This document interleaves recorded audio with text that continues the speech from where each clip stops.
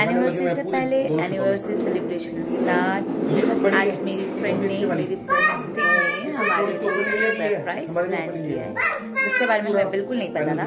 See all of sudden came and said कि फटाफट ready हो। और चलो। वो आई।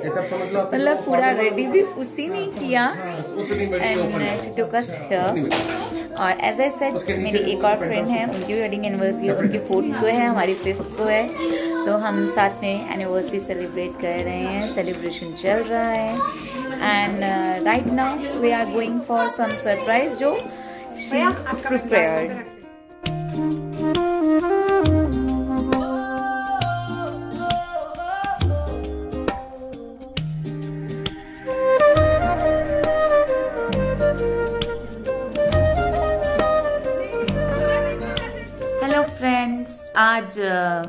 थोड़ा ज़्यादा सज धज के बैठी हूँ बिकॉज़ आपको पता है आज मेरी वेडिंग एनिवर्सरी है।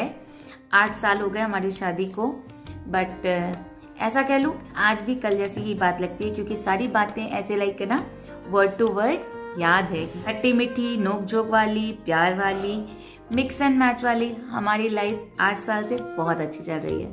लड़ाई झगड़े तो सब में होते हैं और उसी लड़ाई झगड़े से हमारे बीच का प्यार दिन दिन बढ़ता जाता है। एनीवेज एज एनिवर्सरी है, दोपहर का टाइम हो चुका है। ब्रेकफास्ट सिंपल था, कुछ नहीं बनाया। कल रात को आशु ने सरप्राइज़ पार्टी ऑर्गेनाइज की थी। वो मैंने आपको दिखाया, आपने अभी देखा ही है। तो हमने बहुत इंजॉय किया। पहली बार किसी ने इतना स्पेशल फील कराया। ओ my god can't tell you I love you Ashu. And just love you and जो तूने किया आज तक मतलब लाइक आई एम थर्टी अभी तक किसी ने इतना स्पेशल फील नहीं कराया जितना तूने स्पेशल फील कराया। बहुत इंजॉय किया, बहुत मज़ा आया। Thank you thank you thank you thank you so much for your surprise mean to the next point कि अब लंच बनाने का टाइम है। आज पतिदेव से पूछा कि आपको क्या स्पेशल खाना है? तो उन्होंने कहा कि उन्हें खीर पूरी आलू की सब्ज़ी खानी सिंपल है इजी है। लेकिन ऑन डिमांड है तो बनना है ही। सोचा हुआ बहुत कुछ है। कि ये करूँगी, वो करूँगी वो करूँगी बट आई डोंट नो क्या करूँगी, क्या नहीं करूँगी। जैसे जैसे जो करूँगी, वो आपको दिखता जाएगा। पहले कुछ नहीं बोलूँगी, पता चला, पहले सब कुछ बोल दिया और लास्ट में कुछ नहीं हुआ। हाँ लेकिन एक चीज़ जो है, मेरा केक बनाने का मन बहुत था बट ना मैं अभी दो तीन केक लगातार बनाते बनाते ना, अब मेरा आज केक बनाने का बिल्कुल मन नहीं कर रहा। मेरे को नहीं लग रहा कि मैं केक बनाऊँ। कल भी रात को वशु के लिए केक बनाई थी, वो वशु ने कहा कि दोनों साथ में ही कट करेंगे तो उनके साथ कट कर ली। तो अभी मेरा बिल्कुल मन नहीं हो रहा कि लाइक केक बेक करूँ। तुम बाहर कब गई? And I was not aware of that. क्या में? क्या है? Oh my god! Ice cream cake guys ice cream cake Baskin and Robbins की मुझे बहुत पसंद है। और दिस इज़ चॉकलेट ट्रफल वो क्या ऑल्सो Oh my god! देखो। Oh my god! This is so pretty. One thing जो मैं अपने बारे में आपको बताती हूँ। मुझे रियल फ्लावर्स पसंद बहुत है बट मैं प्रेफर नहीं करती रियल फ्लावर्स रीजन वाइज जब रियल फ्लावर्स मुरझा जाते हैं ना तो बहुत दुख होता है उन्हें फेंकने में। लेकिन जो आर्टिफिशियल फ्लावर्स होते हैं वो बहुत लंबे टाइम तक चलते हैं। और आपको उस स्पेशल पर्सन के बारे में और स्पेशल इवेंट के याद रखने का एक मौका देते हैं। अब जैसे ये वाले फ्लावर्स है ये कहीं नहीं जाने वाले ये मेरे पास रहेंगे एक लंबे टाइम तक जब तक मैं इन्हें संभाल कर रखू। मैंने बिल्कुल भी एक्सपेक्ट नहीं किया था मैंने बिल्कुल बिल्कुल भी एक्सपेक्ट नहीं किया था कि रवि मेरे लिए लेके आएगा। मैंने इस बार आपको बताया था अभी थोड़ी देर पहले ही बताया था मैंने बिल्कुल नहीं सोचा था कि मैं केक बनाऊँगी। केक बनाना तो मेरे दिमाग से निकल गया था कि केक मेरे को बनानी ही नहीं है। स्पेशल डे दोनों के लिए है हाँ। स्पेशल डे दोनों के लिए लेकिन इस बार फॉर अ चांस मैंने कुछ भी स्पेशल नहीं किया। चलो खाना बना लेती हूँ। साढ़े तीन बज के बहुत भूख लग रही है।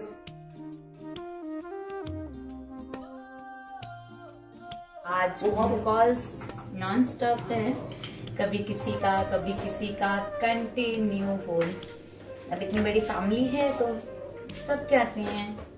ना खाना बन गया, पूड़ियाँ बन गई सारी। मम्मी खाना खाने बैठ चुके और हम जा रहे हैं खाना खाने। अब तो कभी कभी सरप्राइजेस मिलते हैं तो एक साथ बहुत सारे मिलते हैं ना।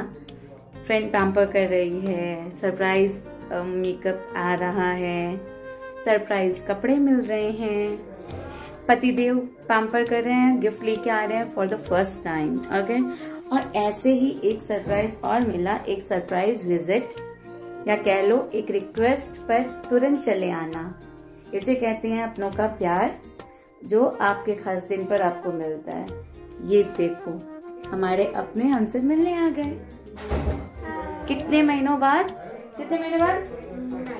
हम नाइन मंथ्स बाद मिल रहे हैं। Can you believe it nine months बाद ये है हमारी जादू। हाय हाँ। तो मैं बता नहीं सकती कि मतलब मैं अभी मेरे लिए बड़ा बहुत बड़ा कंफ्यूजन है कि मेरा फेवरेट गिफ्ट कौन सा हुआ अब इसमें से?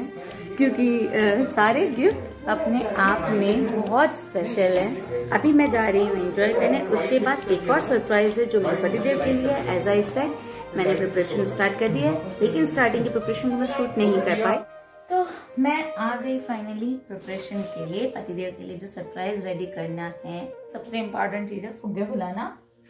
तो हम आ गए हमारे फुग्गे लेके बैठी हूँ। कितने सारे तो फुला भी चुकी देखो।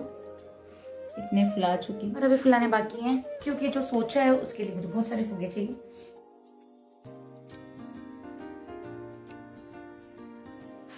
थ्री एंड हाफ़ पीड में एक बलून फूल जाता है। इससे दो फ़ायदे। आपके बलून भी फूल जाएँगे, आपकी लंग्स की अच्छी एक्सरसाइज भी हो जाएगी।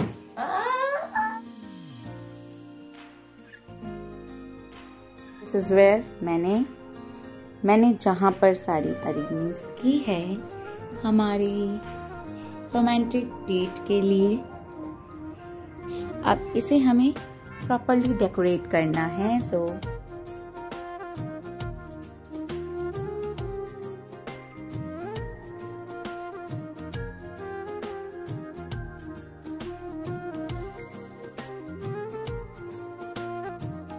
हम रेडी हो गए। हमारे पतिदेव भी रेडी हो गए और डेकोरेशन भी रेडी हो गया। तो लेट्स सी आपको दिखाती हूँ कैसे डेकोरेट किया। ये हमारा केक कटिंग टेबल रेडी हमारे पतिदेव भी रेडी और हमारे गेस्ट भी रेडी गेस्ट हमारे गॉगल्स लगा के रेडी दिखाओ भाई गेस्ट लोग, इधर देखो।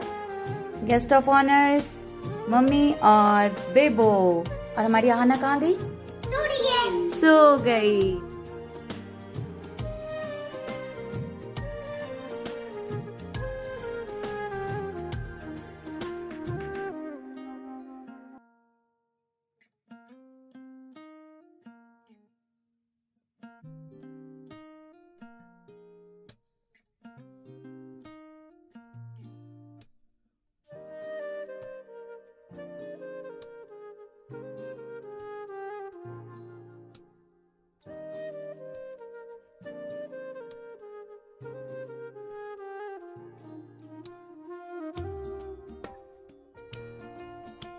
केक कटिंग हो गई।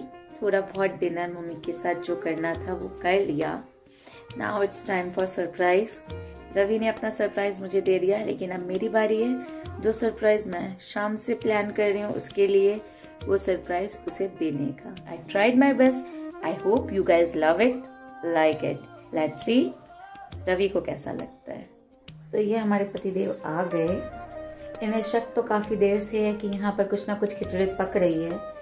लेकिन इन्हें ये नहीं पता था कि क्या खिचड़ी पकड़ी है। शाम को रेडी होने के लिए मैंने इनको कपड़े निकाल के दे दिए। बोले तुम जाओ, बाहर जाके रेडी हो जाओ दूसरे रूम में। आओ आओ धीरे धीरे आगे बढ़ते जाओ बढ़ते जाओ।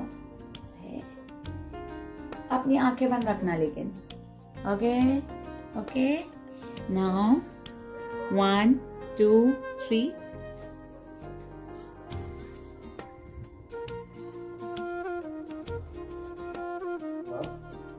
कब किया ये? उसी टाइम जब तुम बिज़ी थे अपने कामों में? मीन्स एक डेढ़ घंटे के अंदर। यस यू लाइक इट पहले सबको दिखाओ। यहाँ पे हमारा छोटू सा meal vada pav and soda shikanji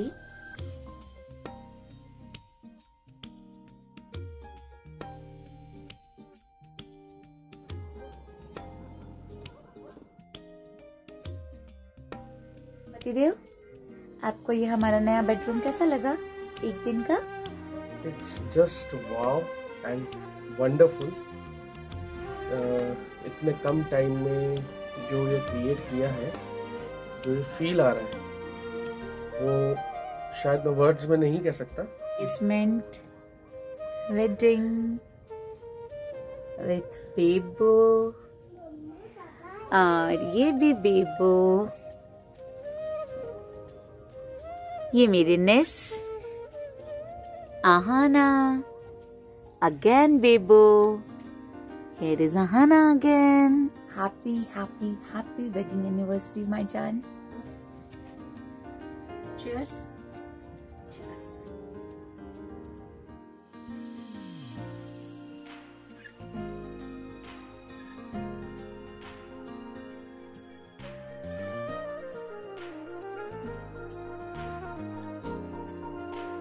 जाना स्लोली स्लोली मतलब मैंने पूरी कोशिश की थी कि ये ना होते लेकिन मैडम होती थी।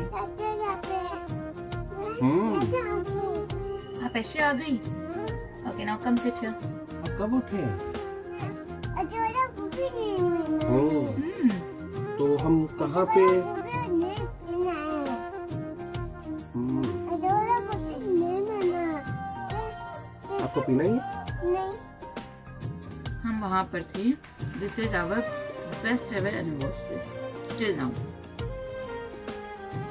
वो तो What कह सकते हैं। वो तो बिल्कुल कह सकते हैं। बिल्कुल हंड्रेड परसेंट सही बात है। क्योंकि ये हमारी एट एट्थ एनिवर्सरी है। एंड पिछले सात सालों में कभी हमको इतना टाइम मिला नहीं कि हम साथ में स्पेंड कर सकें या वैसे कुछ।